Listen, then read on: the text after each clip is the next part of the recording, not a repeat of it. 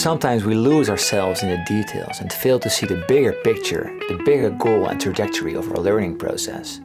It's easy to get lost in one single exercise, one song, or failing to see where this all leads or where we dream of being in the future. To give structure to it all, I've put together an overview of what my process of learning guitar ideally would look like. How I would do it if I were to do it all over again.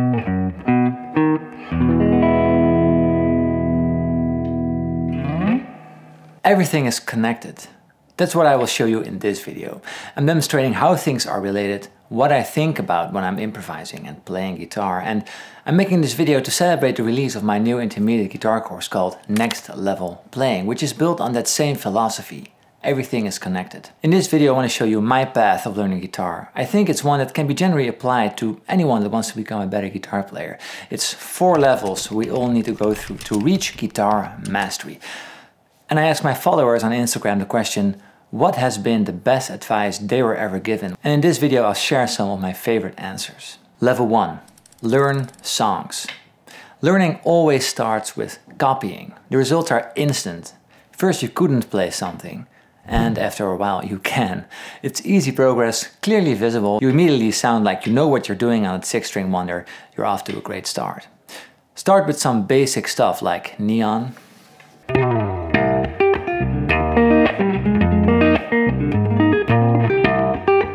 And if you got that down, try some more challenging stuff like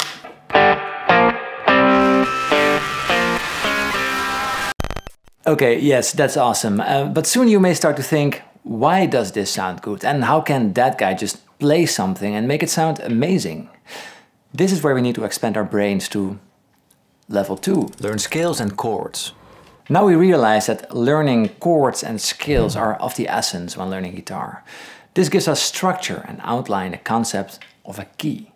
One of the first scales you might try is the pentatonic scale. Yeah, but we go on. We learn that when we play a happy, optimistic song, we can use the major scale.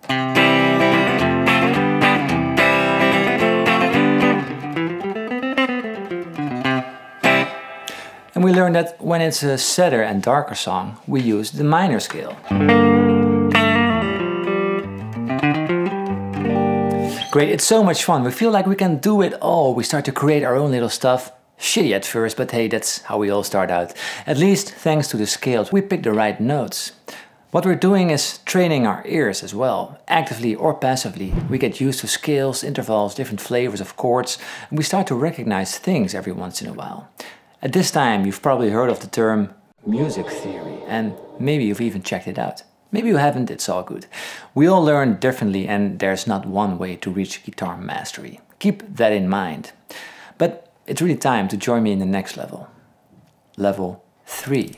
See that everything is connected. This is where the magic happens. Where you're having these aha moments when things all click everything is connected. And I'm absolutely sure we all learned stuff of which we thought, why am I even learning this? The thing is that often when learning, you're failing to see the bigger picture, which is extremely difficult to do so when you're right in the middle of something. So what does this all mean? Okay, let's just make it real. Let's, let's give you some concrete examples. So let's say you learn a chord, um, the E major. In the beginning you learn this E major chord and you think this is the E major chord but it is just an E major chord. It's probably the easiest to play and that's why you learn it when you start out to play. Um, but then you learn that there's more E chords, over here for example. Wow. And maybe even this one. This is so enlightening. And you didn't know yet that a chord is just a combination of three notes which makes it into that particular chord. So learning that, uh, we can play that E major chord anywhere on the neck we want. But still, it's just playing an E major chord. Any combination of the notes E, G sharp and B will give us an E major chord and basically the same sound. Well, this is where level 3 comes in, what I was talking about. Everything is connected because when I see an E chord, I basically see a suggestion. This is the sound we want or we need, like a blank canvas, and you can fill that in with as many colors as you find appropriate. Sure, you can just play an E chord. not a problem. But we can also make our own little noodle.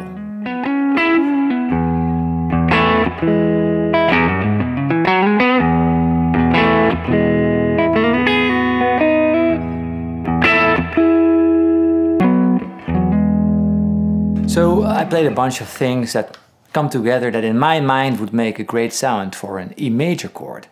Sometimes I change that E to an E sus4, for example like this. Just E to E sus4 to E. And that's a great way to add some movement in the chords. But how do we know what sounds good? I know the E major scale, one, two, three, four, and that fourth note from that scale is the four from the E sus4. So I know the E sus4 chord will sound good in the key of E. Of course, it's also just experience. Sometimes you just remember something sounds good and you want to make sure you don't forget about it. So now we can use that same E sus4 trick on any E triad all over the neck. For example, over here or over here, or here. It sounds great.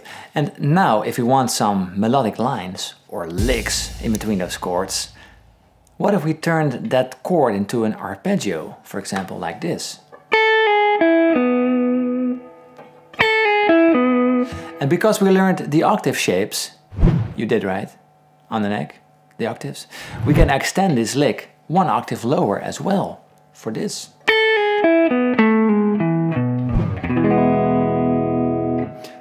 Wait a minute. This is almost the E played as a C shape. So if I want to move that E chord to B, the 5 chord in the key of E, yes I paid attention during my theory lessons, I can play exactly the same lick on that chord.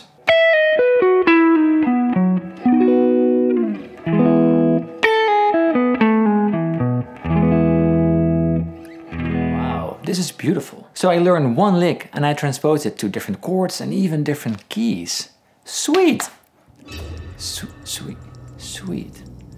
Sus4? Wait a minute.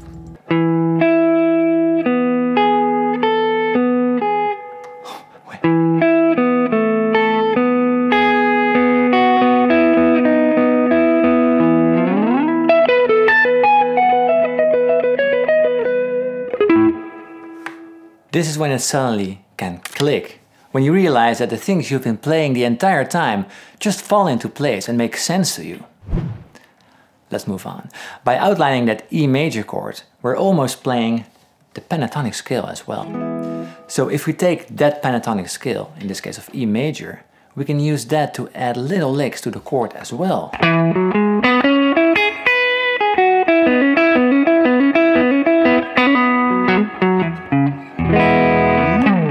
And of course we learned about the relative keys, right? So we can jump right to that C sharp minor pentatonic as well. So we can easily see all the patterns lying on the neck.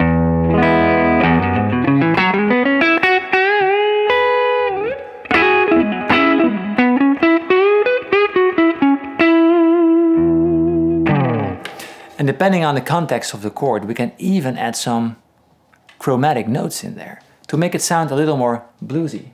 Hi, cat.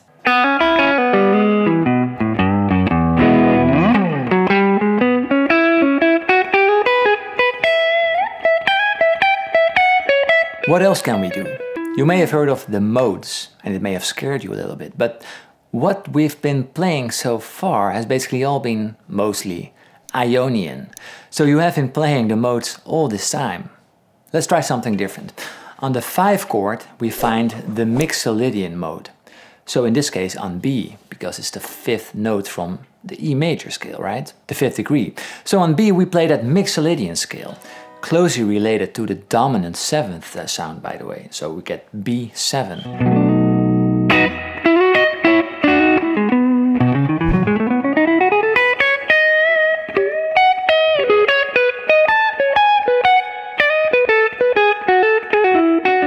If that's not your jam, let's try something different and let's do that on the sixth chord in the key of E.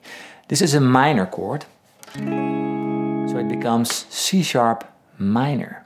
And now let's do the same in Aeolian.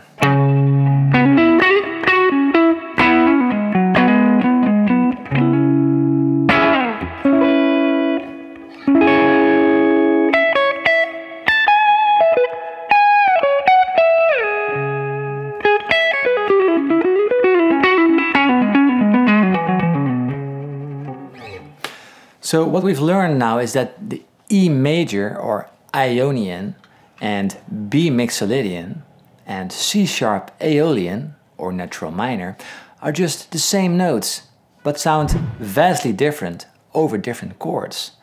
Whoa! Everything is connected! Whoa! No way! Everything is connected! Everything is connected. Wow, I can't believe it. This was just a demonstration of the fact that all things I know, from chords to scales to theory to different shapes, are used when I'm just playing and fooling around, having fun on the guitar, exploring ideas. Some say it's boring, but let me say otherwise. When applied correctly, it's the best. And so much fun. It gives so much satisfaction to get to a deeper understanding of what it is that you're playing. It's truly great and amazing. So now to circle back to my new guitar course. This is basically the entire idea and philosophy behind it. I try to teach where this all comes from, how it's used, how I apply it to music. I try to get the idea across that everything is connected, that you sometimes learn things that maybe don't make a lot of sense at first, but when you try it a few times and see it coming back again and again, you can have that aha moment where everything falls into its place. The viewer that paid attention knows we're still one level short, so here's level 4. Let it all go and except you can never really get there because you can always see new things to learn. So guitar mastery, is it even a thing? I don't know, but this has to be the hardest one and I find myself just looking into this level at the moment. Let it all go when you play and trust your ears, your instinct and your feelings. This is really challenging because you have to be open and vulnerable. But do not be mistaken, we always need to go back to previous levels all the time.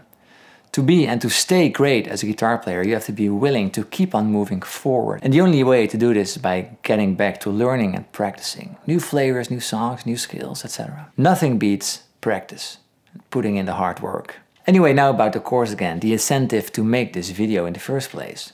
It's called Next Level Playing and it's now available at nextlevelplaying.com. It's a course designed for, I guess, intermediate guitarists, but I think even if you don't consider yourself an intermediate player yet, but just very eager to learn and to get better, this might be a course for you. Make sure to find out if it's for you and to learn all about what the course entails by checking out nextlevelplaying.com. It's all there as clear as possible, so let me know what you think. And right now it's open for a limited time. It closes this Sunday so we can support everyone that goes through the course the best as possible. Thanks all for watching. Have a great day. Check out the course or not. I really appreciate everyone here. So uh, it means a great deal. Thanks. Have a wonderful day and I hope to see you around. Cheers.